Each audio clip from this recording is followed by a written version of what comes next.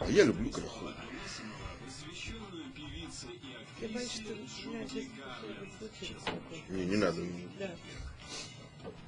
6 декабря 1876 группа молодых людей провела акцию протеста в Казанском соборе. С этой акции и начался распад Российской империи, уверен писатель Владимир Войнович. Что общего у акции 6 декабря и митинга 6 мая? И что роднит протестующих конца 19 века с Пусси? Читайте об этом в новом номере журнала «Дилетант». Также в номере «Печальная и кровавая судьба сына Марины Мишек». За что Варенок поплатился жизнью и как этой трагедией воспользовались самозванцы. Сериал «Викинги» – откровенный и реалистичный рассказ о норманнах и их жестких набегах, а также новый исторический кроссворд. Купить журнал можно не только в магазине, но и на сайте diletant.ru. Настоящая работа для настоящих мужчин. Главное управление Министерства внутренних дел Российской Федерации по городу Москве проводит отбор российских граждан в возрасте от 18 до 35 лет, не привлекавшихся к уголовной и административной ответственности на службу в органы внутренних дел подразделения Вроде- вроде патрульно-постовой справок 8495 А он как 694 сказал, по городу. Москве. и 8 Москве? По городу Москве. Ну, правильно.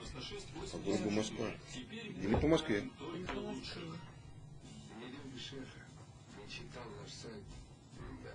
Заходи на facebook.com slash Далее на страничке.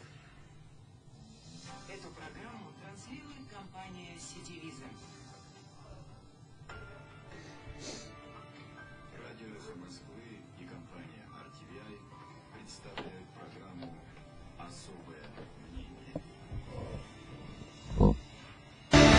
Добрый вечер, добрый день. Это программа «Особое мнение». У микрофона Ольга Бычкова. Сегодня в «Особом мнении» у нас главный редактор ежедневного журнала Александр Рыклин. Добрый вечер. Здравствуйте. Ну, сегодня у нас 1 мая. И Я вас полно, поздравляю. и я вас поздравляю, да. И полно э, всяких картинок с э, разных демонстраций. Я видела одну картинку в Фейсбуке. Э, ее э, в том числе вывешивал мой коллега Володя Варфломеев. Э, Там было написано, там был сфотографирован плакат. Я у всех спрашивала сегодня целый день в том же Фейсбуке, что это значит. Объясните мне, что значит мир, труд, Путин. Э, Я думаю, что это то же самое, что Путин, лыжа, Магадан, только с обратным значением. Ну, понимаете, лыжи Магадан, это понятно. А почему Путин у нас май, получается? Ну, потому что да? Путин это Или- олицетворение будущего, весны, возрождения нации. А, ну, все хорошо объяснять? тогда. Ну, это же очевидные вещи. Ну, это же тогда прекрасный, значит, Конечно. позитивный лозунг. А то все люди пишут сегодня, боже мой, совок, там первомайские демонстрации, все такое. Вернулись обратно в застой. Они не правы, конечно. Ну, конечно, нет. клевещут. Конечно, нет. Высокомерно. Э, Гораздо веселее, по-моему, история э, с героями. Мне очень нравится. Вот эти пять Да. героев. Я вам э, сказать, что мы с труда. друзьями, мы с друзьями заключали пари. Э, Но, правда, мы считали, что будет трое награжденцев первых. И я горжусь тем, Почему вы что... считали, что будет так мало? Что Ну, Родины, нет, Родины первая мало партия. Первая партия. металла, Э? Я думаю, что первая партия, это не должно девальвироваться. Это как-то вот, вот первые люди, они должны... Пятеро, да, сегодня, Ну, правильно? тоже красиво. Красиво, да. Конечно. Э, Я угадал Гергиева. Я очень горжусь собой. Но в двух других я ошибся, потому что я считал, что вторым будет Халманских, а третий Роднина. Ну, я так написал на бумажке. Ну, это вы мыслите очень просто Да, я, да, и да, да, да, да, да. есть, Ну, тем не менее, как не банально, а Гергиева угадал. Ну, одного из пяти угадать, знаете ли, вас Ну, в хорошо. телевизионные игры просто близко в некоторые не подпустят Ну, с очевидно, такими да. результатами. с Да, такими боюсь, что да. рейтингами. Боюсь, Да. что да. Ну вот э, э, тоже смысл этого героя труда. Я понимаю, в Советском Союзе, да, когда там все считалось, что деньги это не важно, богатства не существует, частной собственности нету.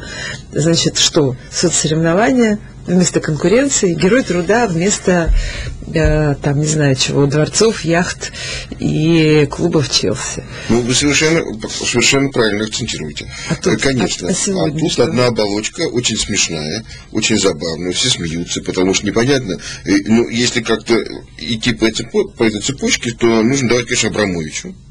Или, например, Прохорову, который окашлялся лучше всех. Правда же? Ну, я понятно, что он герой, ну, конечно. Герой Установить, нашего какие- времени. установить количественные показатели такие. Ну, как, какие-то критерии.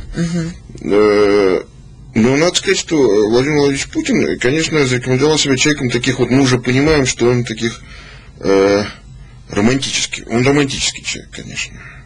Э, Я думаю, вот, я думаю, что он себе представляет, когда вот он вешает вот, э, на грудь вот эту вот звезду, вот, на- наверное, он представляет себя Брежневым или Сталиным, может быть, даже.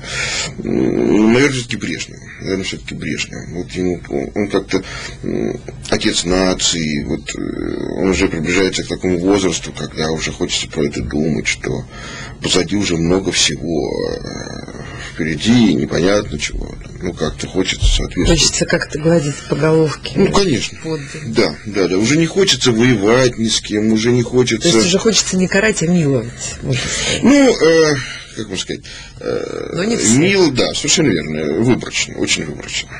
Ну а вот, э, не знаю, тоже все равно непонятно. Ну вот Валерий Гергиев, да, там как бы вы иронически не заключили разные пари, но мы понимаем, что действительно э, прекрасный музыкант, Ну, дирижер, руководитель театра, огромный человек. Так нет, я не знаю, что все остальные Да. там, они что-то выплавили, наверное, больше всех. Не, ну там тоже доктор сжали. Коновалов, например, Доктор уважаемый Коновалов, человек. несомненно, да. нет да, вопросов. и еще трое рабочих, в которых мы тоже ни секунды не сомневаемся, что они достойные люди. Но Гергиев уже заработал э, совершенно заслуженно, прекрасно и великолепно всей своей биографии такое количество наград, таких вот настоящих, что, ну вот ему это зачем? Он же не станет от этого более или менее великим. Ну, знаете, Если э, у него будет или не будет я, эта э, звезда. мне Что, что хочется- это обозначает? Это ничего не обозначает совершенно. Это обозначает, что ты э, на хорошем счету у начальства большого. Вот что это обозначает.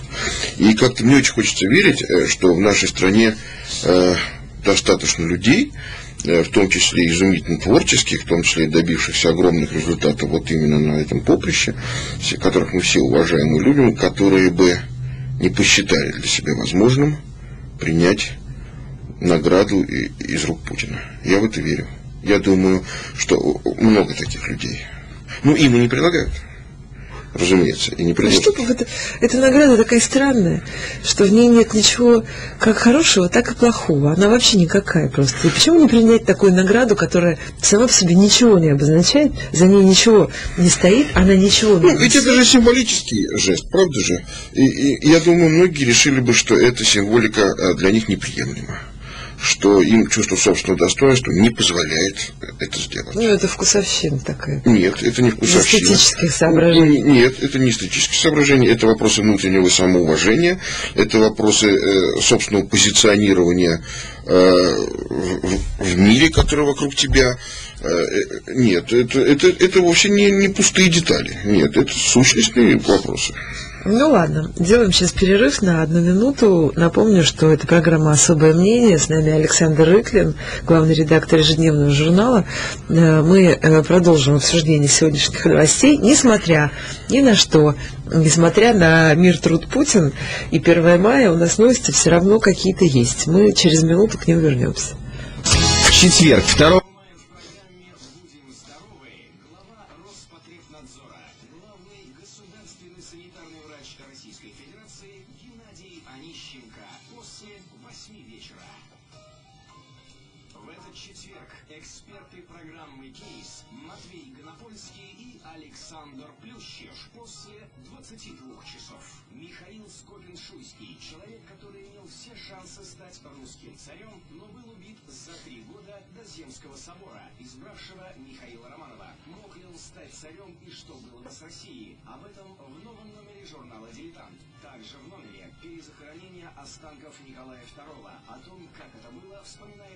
Немцов, бывший главой комиссии по перезахоронению. Катар, страшная индийская оружие, с убери. смерти, а также почтовый... Все равно задувает каким-то морозом. Я уже начала шмыгать носом. Простите, пожалуйста. Это не капризы, извините, ради бога.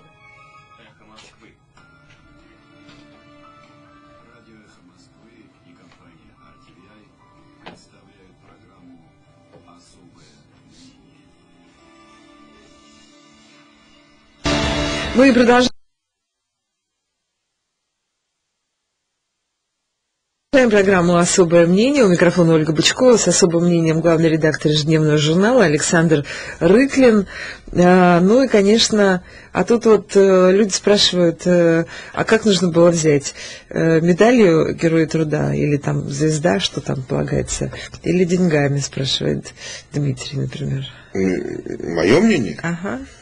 Э, знаете, ну, э, по мне, это, конечно, деньги лучше, но... э, а там разве есть варианты? Что-то дают? Я Не про это, знаю, я не про это ничего не слышал. Вопрос мне кажется, раньше или- давали. или. Нет, Раньше мне кажется, давали, раньше давали, да. правда же? Потому что Раньше вот эта высокая награда, да, шла как-то да. вот в связке с каким-то Ну, короче, вы, короче, у вас нет однозначного ответа. Деньги лучше, как нет однозначного ответа. А, хорошо, все, согласна. Вы капиталист, а нам тут строят совершенно практик. что-то другое.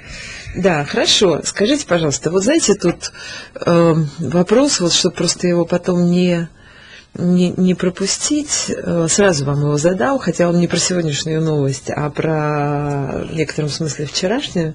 Почему сачкует Кудрин, спрашивают вас, почему Путин решил обнародовать переговоры с ним? Ну, вот это вот известная беседа на прямой линии президента. Э, Хочу вас спросить именно с вопросом о том, что из этого может последовать. Ну, знаете, э, давайте мы не будем забывать, когда речь идет о Алексее Леонидовиче Кудрине, что это очень близкий Путину человек. Он совершенно выбивается из ряда даже высокопоставленных сановников. Э, Мне сложно сказать, с кем его можно сравнить, но мы знаем, что это просто друг Владимира Владимировича Путина. Кудрин человек, который Путина привез в Москву, который здесь его трудоустроил. А Путин никогда не скрывал своих теплых отношений с Кудриным. Э, Кудрину многое позволено, чего не позволено никому другому. Э, Кудрин является как бы олицетворением э, вот цело- целой когорты э, людей либеральных взглядов, э, которые строили империю Путина. Они сгруппировались вокруг него, они работали на него все это время. Ровно э, этими же словами можно описывать и ситуацию с Александром Борисовичем Чубайсом. Но они Ну, не Кудрин похожи- ближе гораздо. Но они не похожи на тех людей, которым, которые должны быть вот в восторге от всех тех первомайских призывов, там, героев труда и вот всей вот этой стилистики. Ну, э, э, понимаете, да, конечно, они не в восторге, они, возможно, Мне- мне так кажется. даже такой человек, как Кудрин, например, сообщаясь с Путиным, он может пошутить на эту тему, вполне может себе позволить, я вас уверяю. И я не исключаю, что Путин улыбнется в ответ, э, потому что вот это все, это все на потребу масс. Это все вот туда, это все на улицу. А Путина с Кудриным объединяют гораздо более серьезные отношения, гораздо более серьезные интересы и совсем другого уровня проблемы. Типа. Ну, как-то мы же понимаем, что у нас э, очень тяжелая ситуация в экономике, э, что мы на пороге серьезного кризиса, может быть, более серьезного, чем тот, который мы пережили вот несколько лет назад, что у нас уже несколько месяцев спад промышленного производства, что у нас непонятно, что будет происходить с рынками. Ну, в общем, у нас проблемы. Это всем если, очевидно. вот, если очень примитивно рассуждать, вот совсем примитивно, вы меня извините за такие параллели, но э, есть же, наверное, как бы два таких способа генеральных решения этих проблем. Вот или героем труда посредством вот, вот таких механизмов, или посредством таких меха- механизмов, как Кудрин. Кудрин не или-или, Кудрин, да. это вот тут не надо. Понимаете, э, Ну, если вот его об- обобщать как явление. Вот сегодня, значит, вот вся эта мощная когорта начинает говорить, что нам срочно нужны реформы. Срочно, потому что мы больше не можем жить в этой нефтяной экономике, Ну, чего тут делать? Очевидно, надо. Э, ну, так это очевидно уже последние 10 лет или даже больше. Правда же? Ничего, собственно, нового не случилось. Э, мы живем в условиях, э, когда нефть стоит 100 долларов за баррель. Э, Сейчас уже мало кто помнит, но э, в период там, правительства Гайдара она стоила в д- в 10 раз меньше. Копейки просто. 10 раз сущие, меньше. М, 100 долларов. И уже выясняется, что доллар за баррель не гарантирует стопроцентной наполняемости бюджета. Уже денег не хватает. Э, Уже у нас, ну, мы на пороге дефицита. Ну, в общем, тяжело, тяжело. И они начали говорить, что нам нужны реформы. Спрашивают, ребята, а чего вы раньше вообще-то как-то? Вы чего? Что происходило? А почему про это два года нельзя, назад нельзя было сказать? Что было что-то другое? Ну, так и говорили. Ну, вы же Ну, понимаете, и все, равно, и все равно работали в этой экономике, и все равно обеспечивали жизнедеятельность этого Нет, режима. а я вас хочу спросить все-таки, пытаюсь спросить, а все-таки вы думаете, что вот Путин как бы принимает вот эту карму как данность, и что да, у нас нефтяная экономика, да, ну вот, может быть, на наш век хватит, а дальше там э, уже другой вопрос. Или, э, ну, потому что вот э, такое впечатление, что действительно, ну, по внешним, по крайней мере, признакам, кажется, что вот по, по сегодняшним этим всяким внешним таким проявлениям, кажется, что э, он как-то хочет вот зафиксировать ту реальность, которая есть сегодня. Ну, с одной стороны, конечно, вот э, есть чисто внешние признаки, и вы совершенно правы, когда говорите, что вот, да, вся эта история с возрождением советской мифологии, советской символики, и, и это все уход от реальности. Это все попытка как-то все это лакировать, закрасить, м, сказать гражданам, что вообще-то вот есть иные ценности, не нужно все время думать про хлеб Ценности и скрепы. И скрепы, совершенно верно. Все это надо скреплять. Вот господин Цепкот это вам объясняет, что это пойдет на как-то цементирование нации. Мы же теперь рассуждаем о глобальных проблемах.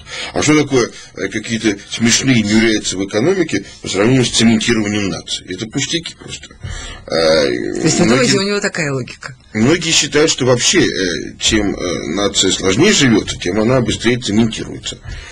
Нужно затягивать пояса, это все мобилизационная лексика, понимаете? Нужно затягивать пояса, вообще как-то смотреть на начальство в рот, более глубоко туда заглядывая и что-то там выуживая оттуда какие-то смыслы.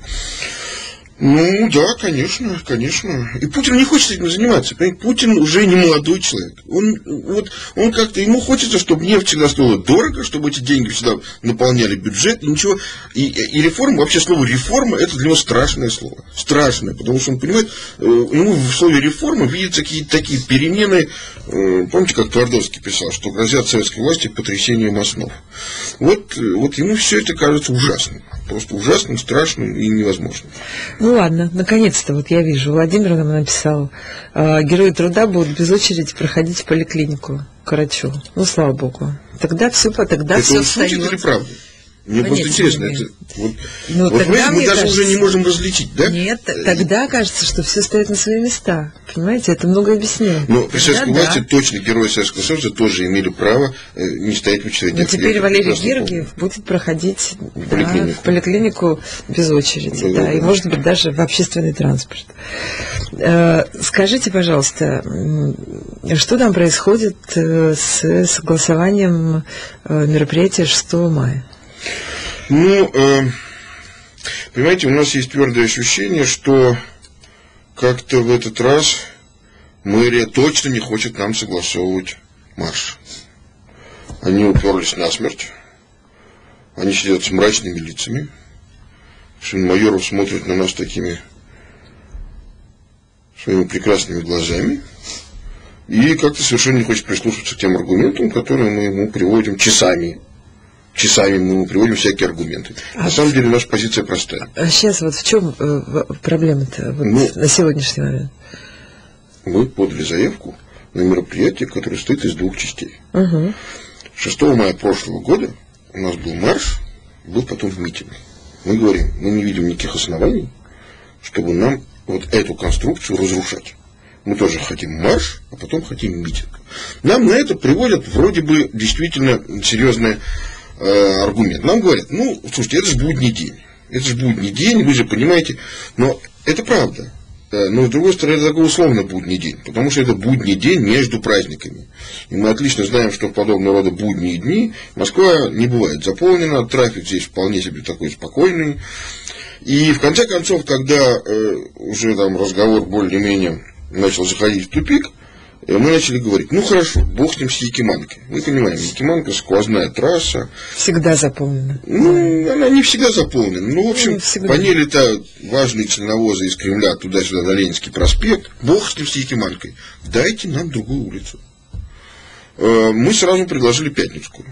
Ну, маленькая, узенькая улица, от метро Новокузнецкая. Дайте нам пройти на Балтику. 500 метров. Но нам важно это, знаете, символически для нас важно. Ну, тут они как-то задумались, нам так по времени показалось. Э, Был объявлен перерыв в переговорах. Мы вернулись, видимо, они там с кем-то посоветуют. Нет, они нам пока ничего не согласовывают в отношении марша. Сегодня мы заявили, что мы бы хотели привлечь к переговорам члена президентского совета по правам человека, по правам человека Николая Карловича Сванидзе. Он уже ведь раньше участвовал в каких-то Он участвовал, но как-то не очень он участвовал, потому что его не пустили. Нет, в, в прежних, в прежних каких-то согласованиях он принимал Ну, участие. это лучше у меня спросить. Я не Да. помню. Но я помню, что с ним был конфуз уже. Однажды его не пустили на такие переговоры. Но похоже, что сегодня его опять не пустили, потому что Майоров сказал, что ему никакие лишние переговорщики не нужны. А вам зачем э, Николай Сванидзе при всем уважении к нему? Э, Вы понимаете, это история? изменит? Э, Ну как? Ну, мы надеемся, что как-то независимый человек, который, в общем, действительно его ни в ту, ни в другую сторону, но он мог как-то, может быть, повлиять на исход этих переговоров. Ведь мы же объясняем простую вещь. Мы ответственны за безопасность людей. Мы очень хотим, чтобы 6 мая, 6 мая все прошло спокойно и без эксцессов. В случае несогласования мероприятия мы снимаем себя всякую ответственность за то, что будет происходить в Москве. Просто всякую. Э, Мы, честно, я тут ничего не скрываю, мы предупредили власти московские, что в случае несанкционированного митинга мы можем получить очаговые акции протеста в разных частях центра города. Э, Я не думаю, что они будут особенно массовыми, и никаких 100 тысяч человек не может быть речи. Даже если по тысяче человек будут выходить то на Пушкинской, то на Маяковской, то на Манежной, то еще где-то, это тоже мало не покажется. И это никому не нужно. Поэтому, говорили мы, давайте договариваться. Договариваться они пока не хотят. Ну хорошо, завтра у нас еще один раунд переговоров. В 11 часов мы начинаем. Ну, я надеюсь на, в общем, определенное здравомыслие господ из мире. Э, С другой стороны, я понимаю, что вот отказ от того, чтобы позвать Сванидзе на наши посиделки, означает, что, видимо, они сдвигаться не будут. И это означает, что, конечно, это политическая позиция, она не техническая. Э, Что, видимо, я уже не знаю, там продиктована она буквально из Кремлем, но, видимо, просто э, московские власти боятся, э, что кто-то э, вот такого рода их уступки оппозиции будет интерпретировать как слабость, проявленную по отношению к москвичам.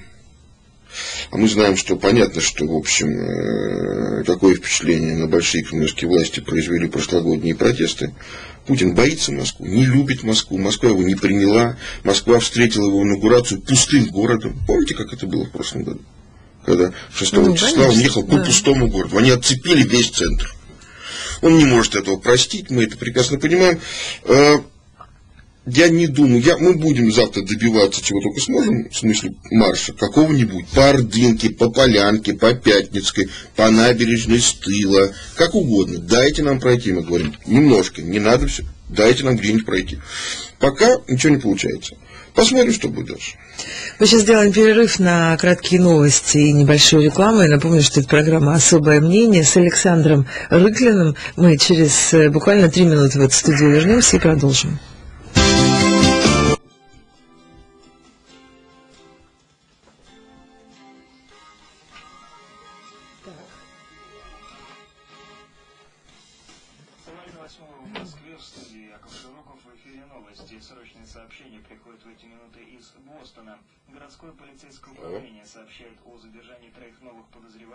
При расследовании дела о недавнем теракте. Дополнительная информация ожидается То есть в ближайшее время. Там группа. Два взрыва прогремели финишные черты бостонского марафона в середине прошлого месяца. Мы про это ничего не слышали. По последним данным, более 260 получили ранения. По Еще троих теракта в среду, 15-летняя среда, да. О задержании троих объявила подозреваемых в рамках следствия.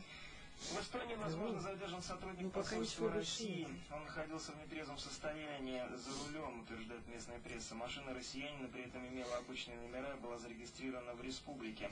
Молодой человек по имени Дмитрий да, Немцов, как стало известно Интерфаксу, ну, признался, что употреблял алкоголь, но отказался пройти обследование и объявил, что у него распространяется дипломатическая неприкосновенность.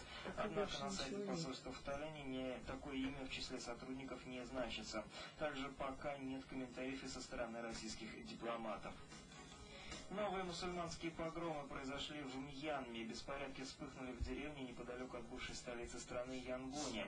Один мусульманин был убит, еще 10 пострадали, передает Рейтер. Сейчас же туда убивает полицейские силы и военные.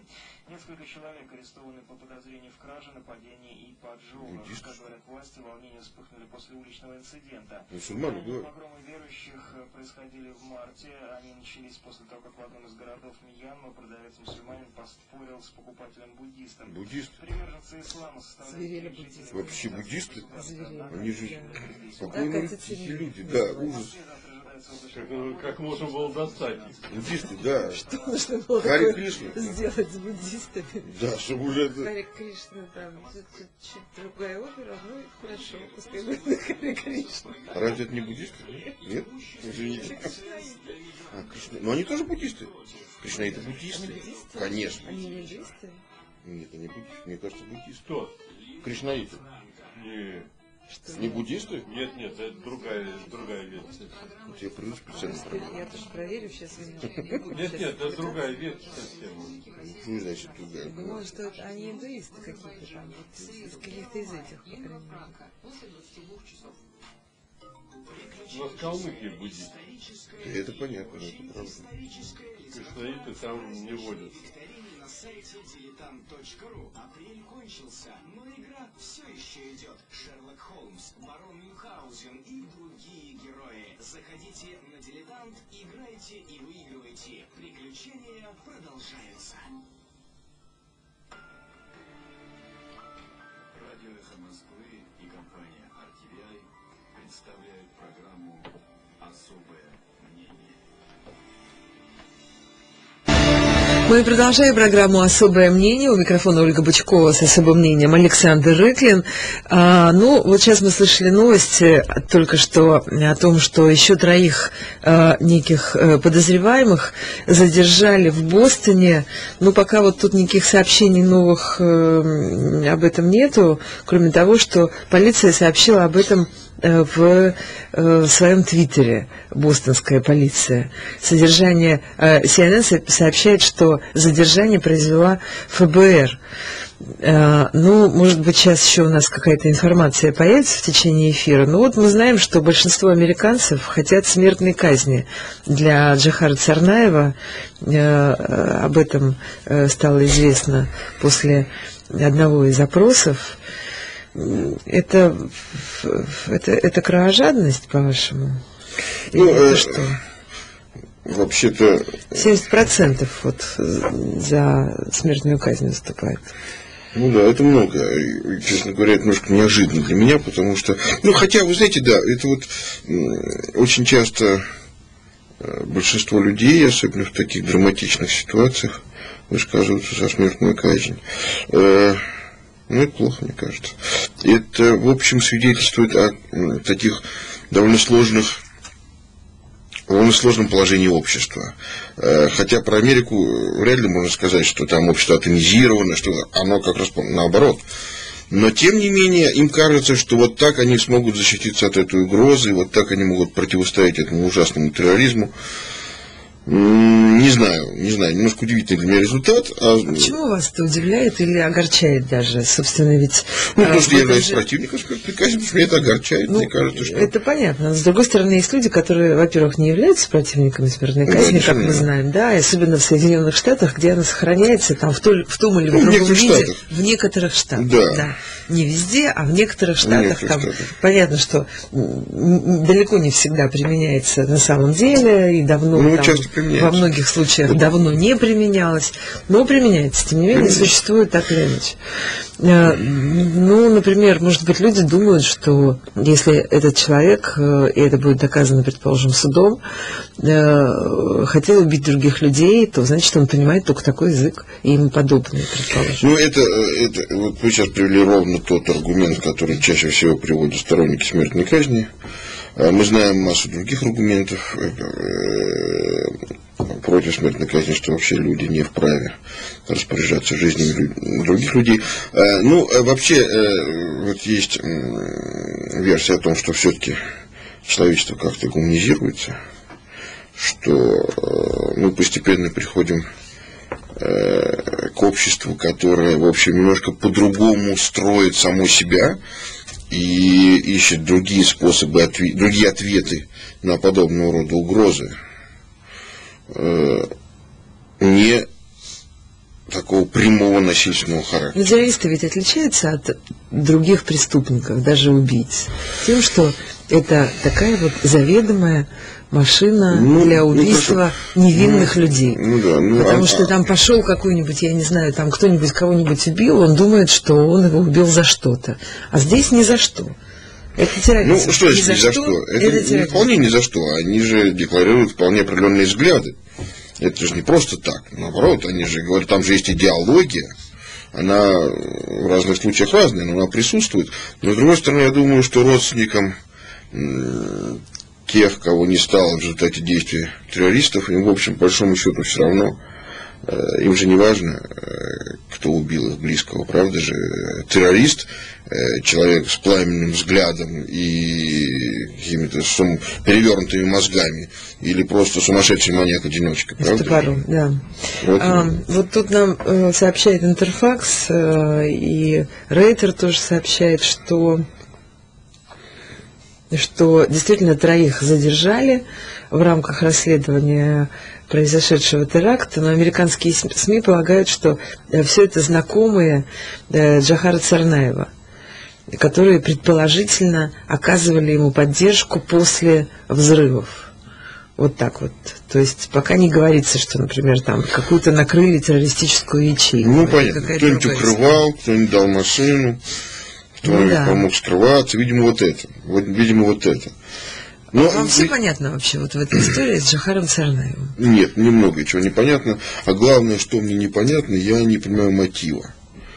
Я, э, я понимаю мотив, когда э, вот эти террористы с Кавказа осуществляют свои ужасные, ужасные акции, например, в России. Это я понимаю. Там присутствует мотив мести. А в Америке я не понимаю.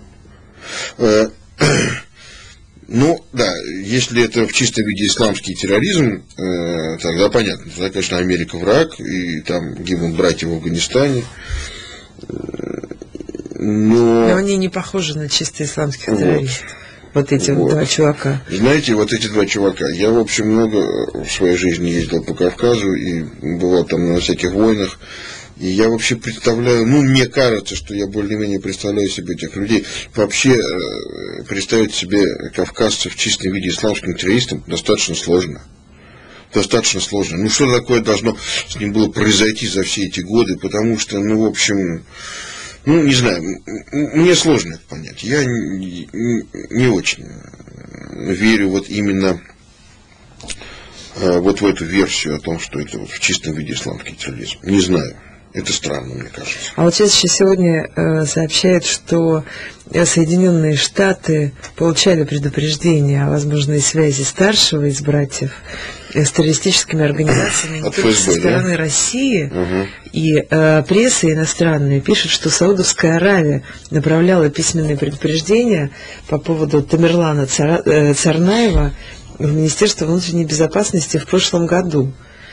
А, И предупреждение, э, это было предупреждение отдельное от э, там какой-то информации, которая могла быть у российской, соответственно, спецслужб э, в 2011 году, когда он был в Дагестане. То есть это вообще какая-то другая совершенно. Ну, тогда, значит, все-таки это ровно то, о чем мы сейчас говорили. Это, значит, все-таки были какие-нибудь тренировочные лагеря. Это значит, э, да, вполне возможно, что все-таки тогда это не- нечто другое. Тогда это То действительно... есть вот они пишут, что э, Daily Mail пишет, что сообщение носило очень специфический характер и предупреждало, что нечто должно произойти в крупном американском городе. То ли нечто это вот то, то ли нечто это не то. Э, У вас нет ощущения, что вообще вот эти все спецслужбы, что наши, что американские, Нифига что еще какие-нибудь, да вот Ну. не знаю, э, то ли нифига не могут, то ли как-то не спешат вообще нам э, как-то ни о чем рассказывать. И что там Ну, масса просто они- каких-то вещей, которые они там явно нам вешают в виде лапши.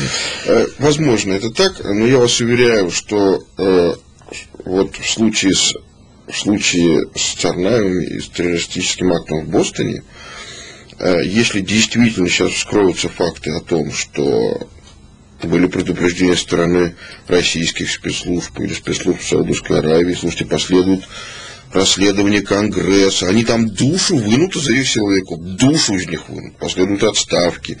Это немножко не та ситуация. Никто награждать в тайне не будет, как у нас было после Беслана, я вас уверяю, э, и после Нордоста. То есть вы верите в американское правосудие? Я не верю в американское правосудие, я верю систему. э, в- вообще в американскую политическую систему, которая так устроена, что, в общем, подобного рода инциденты, вот она между пальцев, она, они у них не просочатся. Так не будет точно. Так не будет точно. Они все это расследуют, и все это будет гласно, и найдутся какие-нибудь пять журналистов, которые душу вынут из них всех вокруг там. Э, Мы узнаем обо всем этом, я вас уверяю. Так устроена американская жизнь. Ну, последнее, возвращаясь к 6 мая, спрашивает вас Илья из Ярославля. Э, процессы над Навальным, болотное дело э, разозлили или запугали активных граждан? Как эти процессы повлияют на митинг, э, вот, э, который предполагается на днях? Больше или меньше придут людей? Вот вообще, что вы от этого э, могли бы ждать? М, Вот в Знаете, таком, знаете, в эмоционально, скажем, таком общественном смысле, в эмоциональном. Я очень надеюсь, что 6 мая на Болотную в 6 часов вечера будет много людей. Потому что это вот дело каждого. Это история, конечно, это болотная история. Конечно, это история про узников болотные, которые там, мы видим, что они просто ка- каждую неделю там, ну почти каждую неделю происходят новые задержания. Леша Гаскаров буквально там несколько дней назад. Вот на самом деле 22 мая вот в космосе был представлен очень подробный доклад комиссии, которая занималась расследованием происшествия на Болотном. Э, Он очень аргументированный, очень убедительный, этот доклад. И там дивная наша пианистка Полина Осетинская, она в своей речи, которая предваряла ее выступление Израилем, она произнесла очень точную, как мне представляется, формулу. Она сказала, когда право обращается бесправием, сопротивление становится долгом. Ну, я думаю, будет много людей. Много, правда.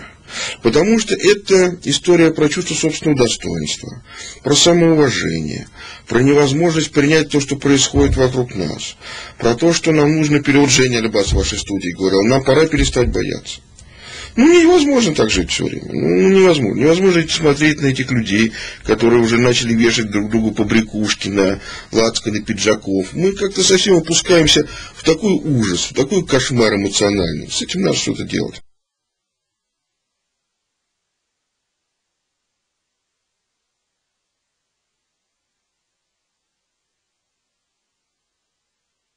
Цацки начали.